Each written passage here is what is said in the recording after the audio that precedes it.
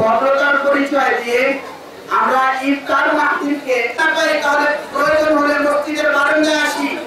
কেউ রাত মাহফিলে শরীর হওয়ার জন্য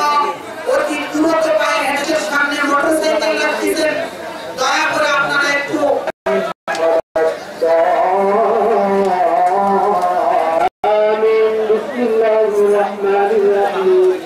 Thank you.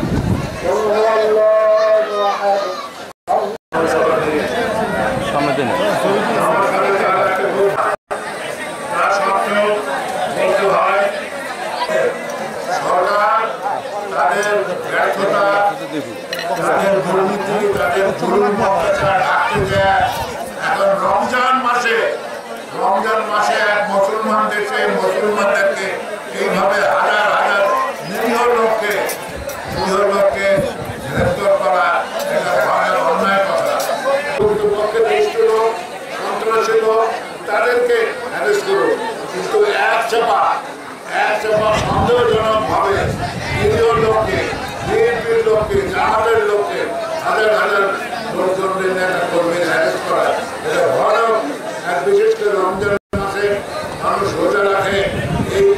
এই সময় এরকম জুলুম অত্যাচার নির্যাতন কোন মুসলমান দেশে এটা দেখা যায় না। যে ভাই وقنا عذاب الحريق الشوق القصدا إله إلا الله محمد رسول